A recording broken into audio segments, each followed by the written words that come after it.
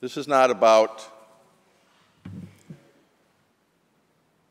this, this is not about lowering rates for ratepayers, as the senator likes to point out. There are so many taxes and fees on utility bills. If they really wanted lower rates, this legislature would be doing something about that, but it does not. For 15 years, this state has had a competitive marketplace, an open marketplace for power producers, for transmission uh, providers, with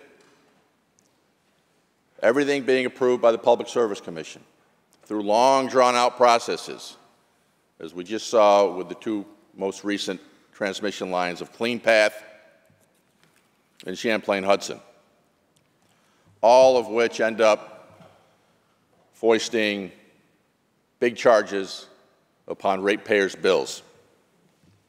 This legislation is going to take away competitiveness in this marketplace, which I believe in an open market, a free market economy, competitiveness is a good thing, competing against each other, businesses. Yeah, we're going to interject a state-owned utility into this marketplace to produce power with a significant unfair advantage. No property taxes. That's great. Let's eliminate property taxes on all of the power producers in this state.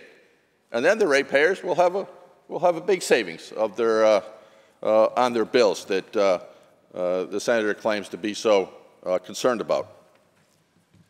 If we were so concerned about the ratepayers, why does this legislation in its latest version four days ago put in language to appease labor unions to require prevailing wages to be paid, which will drive up the cost of these projects even further? You know, affordable housing projects in this state are exempted from prevailing wage requirements because it impacts the affordability of those projects by driving up costs. And that's being interjected in this legislation, which will further exacerbate rates for ratepayers. This is putting a state-owned utility with a completely unfair advantage in a marketplace that has been open for 15 years under significant decisions that were made in this state through the Public Service Commission 15 or so years ago. And that was, I remember it, it was a long, years, several years long process to go through it. There were hearings, there were debates, it's all over the place. Yet,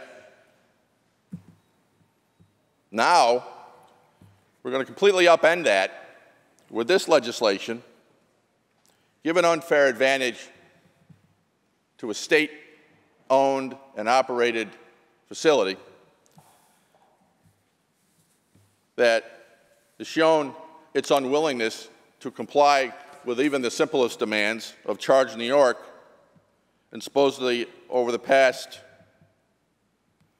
nine years was supposed to have produced 13,000 electric vehicle charging stations.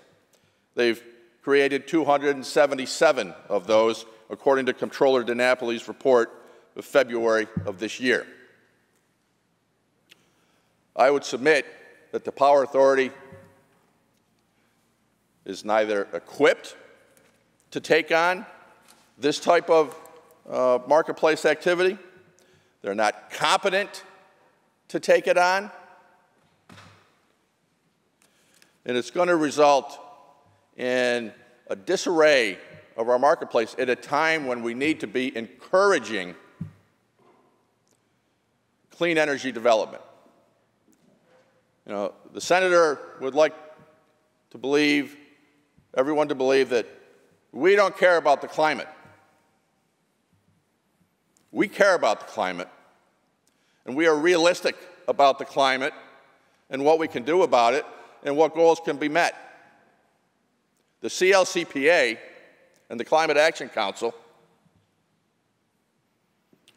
has taken absolutely no cost benefit analysis of any of these projects on what the impacts are going to be to ratepayers by doing these things.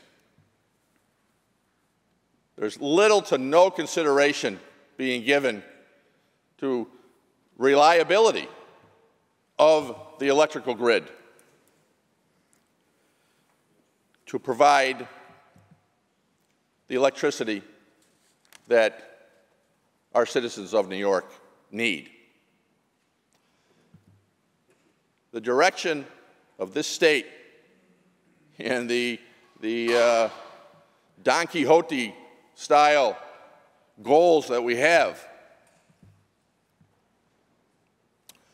are going to lead us into a situation of more expensive energy, less reliable energy, and we're not going to meet the, meet the goals anyways. And even if we do, what is the benefit of it to New Yorkers? And contrary to what the senator alleges is our, my and my colleagues' concerns, we are concerned about these issues, and we are interested in moving forward on our clean energy in New York State and improving our environment in a rational, comprehensive, uh, and realistic approach that will help us meet those needs.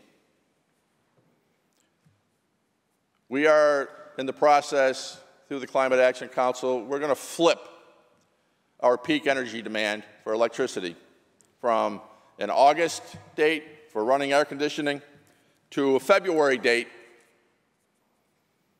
heating everything. And without reliability of this system, which is being ignored completely by the process, we will have brownouts and power shortages in the middle of winter when people need heat the most. Then you'll come back and complain when your housing projects don't have heat in the winter. Your constituents aren't going to be happy with that, I can guarantee you. You can go without air conditioning for a little while in the summer, and that's not great either. It's not as bad as going out without heat in the middle of winter without other electric and lighting in the middle of winter. This, this legislation that totally changes the marketplace for energy generation in New York State interjects communism into this marketplace in New York State. I'm sure it's, that's all well and good with your Democrat Socialists of America constituencies that you're representing here. But it's not going to be good for the ratepayers of New York State. When their rates go up, the lights go out, and the heat goes off. We are doing this with absolutely no public input whatsoever. We have no position or input from the New York Power Authority as to whether they even are interested in doing this, whether they have the capacity to do it or not. I can tell you from their track record, they do not.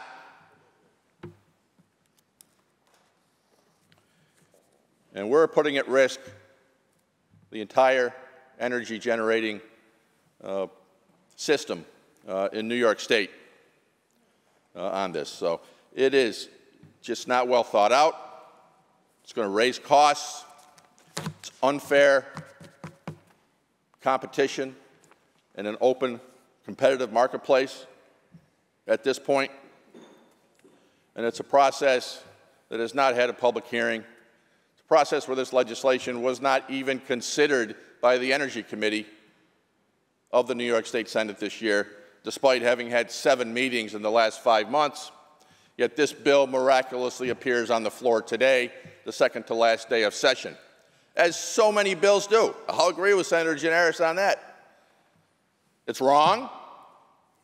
It's not a due process. It's not an open process. It's not a public process, which is the way governing through a state legislature should be.